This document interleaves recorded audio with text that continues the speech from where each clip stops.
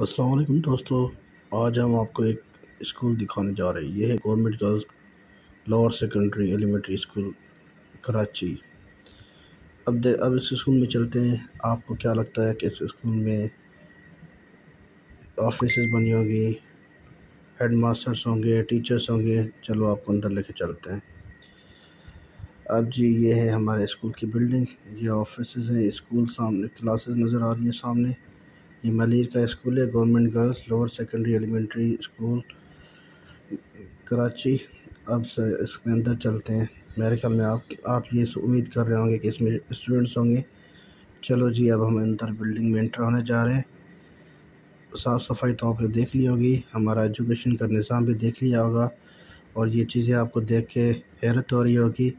ये देखें, ये हमारे तालब इल्म ये तालब इल्म देखें, इनके हाथों में किताबें हैं, ये पढ़ रहे हैं। और ये देखिए अच्छे से ये पढ़ रहे, तालीम ले रहे हैं हमारे तालब इम सिंध की तालीम का, सिंध की आप तालीम देखें तो हबीब तो तबीब तो दर्दनी दवा। यहाँ पे लिखा हुआ है, लतीफ़ सरकार का शेर। और यहाँ पे भाई साहब देखिए क्या क्या काम कर रहे हैं। ये देखें हमारा एजुकेशन सिस्टम, कलम देखें, किताबें देखें। इनके हाथों में कलम होंगे, किताबें होंगी, बड़ा ही तालीम ले रहे होंगे।